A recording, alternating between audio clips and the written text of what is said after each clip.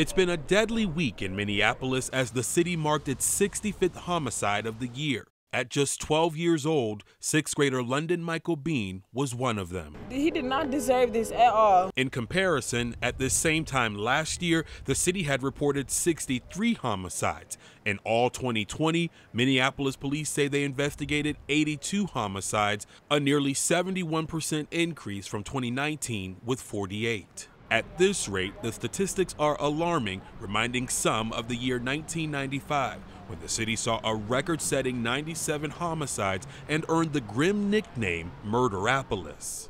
In response to the recent gun violence, here's Minneapolis police spokesperson Officer Garrett Parten's message to the community Embrace the sanctity of life, see the value in each person who visits or calls the city home, and do not destroy one another. We can be so much better as a community, as a group, and uh, I honestly believe that better days are ahead. Something he hopes will ultimately help save lives.